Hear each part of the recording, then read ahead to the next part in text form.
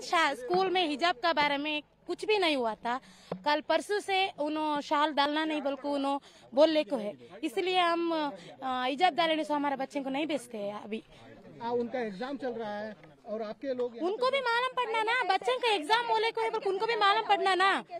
But अच्छे बच्चे का एग्ज़ाम रहने में उन्होंने सडन ऐसा रूल्स डाले तो हमें क्या कर सकते हैं? हाई कोर्ट ने बोला है कि कोई भी हिजाब हो या शाल हो हिंदू हो मुसलमान हो कोई भी पहन के आना मना। बच्चे बच्चे कुमकुम डालने नहीं आते हैं क्या? उनको भी मना किए हैं कोई भी नहीं डालने को आते हैं ना एंट्री ले को है ना स्कूल में?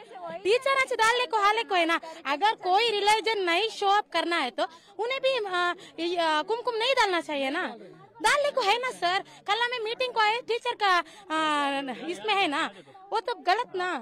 इसीलिए करना है तो पूरे इनके सेम रूल्स करो। एक एक को काय को करते हैं? गलत ना वो भी। हमारे लिए क्यों ऐसे का रूल्स तो आप हिजाब उतार के नहीं भेजो। नहीं भेज क्यों भेजना है सर अभी नहीं है ना। कितना साल 160 सिक्सटी ईयर्स हुआ।